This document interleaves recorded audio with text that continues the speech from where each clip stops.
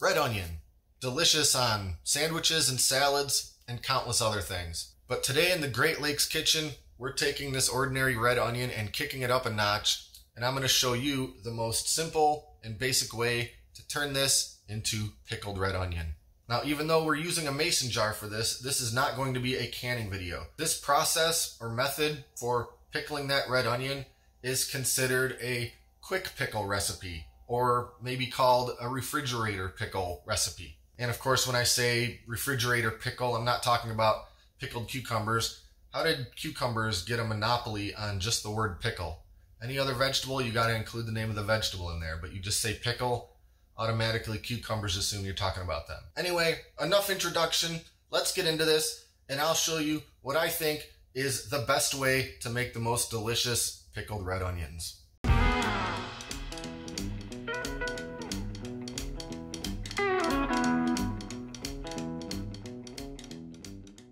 So the first thing we'll do is go ahead and get a kettle of water on the stove and we just want to get this to the point of boiling. And we're going to use this water for uh, a couple of steps in this. So while this is heating up, we'll just move over and start working on our onion.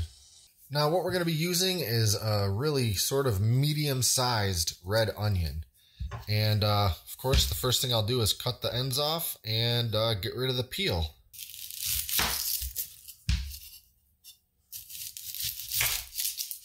And I'll cut it in half since that's what we're going to end up with anyway. It makes the peel a little easier to remove.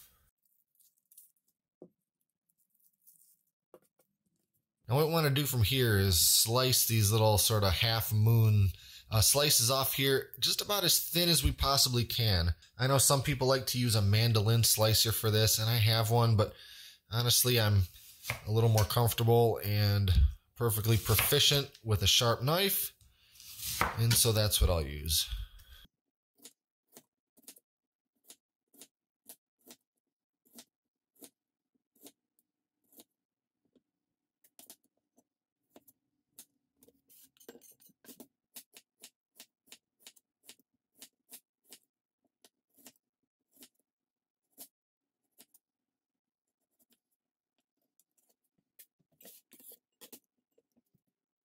All right, now we're just going to take some of our boiling water and pour it right over top of these onions in a bowl here. Just enough to cover them.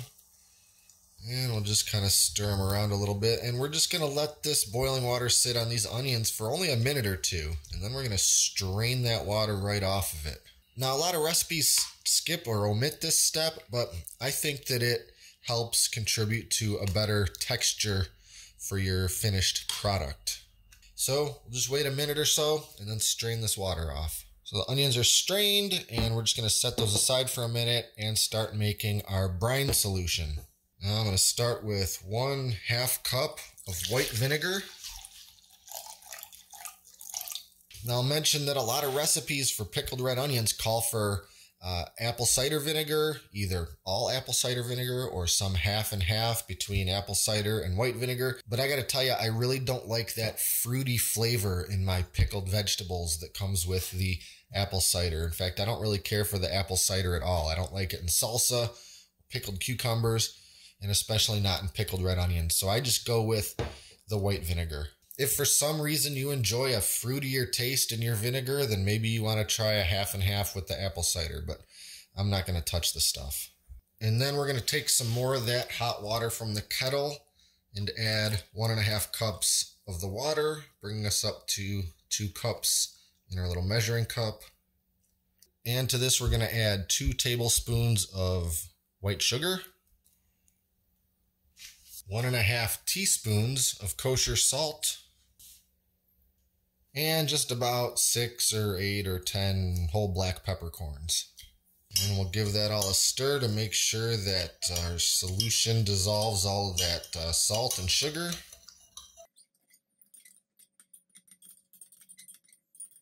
And that's it for our brine. We'll go ahead and set that aside for a minute and we're gonna get back to our onions. And for this, I'm using a wide mouth pint mason jar, which is just about the perfect size. And I'm just gonna go ahead and pack this full of my onion slices. These are still a bit hot from that boiling water I poured on them earlier, so I'll use some tongs and just pack as many of these in here as I can.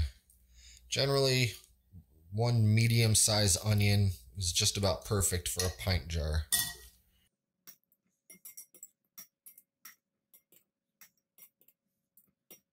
So I was able to fit all of those in there and even have a little room to spare. Now, it doesn't get simpler than just pouring our brine over until we've completely covered those onions. In fact, I'll just bring it up to about, uh, I don't know, I'll leave maybe a half inch of head space, even though it doesn't matter as long as I got those onions covered. And now this is going to end up going in the refrigerator, but since the water I poured in there is still pretty hot, I'm just going to leave it on the counter here for a little while until it uh, gets a bit cooler. Then I'm going to cap this and stick it in the fridge. Now again, this is a quick pickled red onion recipe and process. I am not hot water bath canning this. This is not considered a shelf stable uh, jar of pickled onions. Uh, this needs to be refrigerator pickled onions. You could do almost the same process, but then add hot water bath canning to the end of it. But that's not what we're doing here. We're going for refrigerator pickled onions. So again, after this is cooled down, maybe a little closer to room temperature, I'll screw a cap on it and stick it in the fridge. Now you want to let these sit at least overnight before you eat any of them. And they'll be good to eat after a day, but they'll be much better to eat after five, seven, even 10 days. So that, of course, means that I have to remember to make them in advance of, uh, you know, when I want to have a recipe that calls for them, such as my carnitas tacos. And after letting them sit a couple few days, you'll really start to notice the liquid in there turning a nice pink color and in the onions themselves turning a much richer pinkish purplish color uh, that, that, ends up looking like the pickled onions you might come to expect from a restaurant or, or so forth. Okay, so it's been about three whole days since I put these onions in the fridge, and as you can see, the color has really gotten a lot, uh, much more of a rich, almost neon pink. And uh, personally, I think they're just gorgeous. These are ready to eat and enjoy. And there's about nothing I like these on better than uh, my pork carnitas tacos. And so that's exactly what we're making tonight. So next time you're looking for a delicious, zesty, tangy, amazing topping for your tacos or really anything else, give these pickled red onions a shot. As you can see, they're super easy, and most of the time spent is really just waiting for them to get more delicious in the fridge. And if you like the looks of these carnitas tacos, well, keep an eye out on the channel because I absolutely intend to make a full video showing the entire process of how I make these in a future video. As for now, be sure to like and subscribe and stay up to date with all our latest stuff, including future pickling videos. Thanks for watching, and I'll see you next time right here in the Great Lakes Kitchen.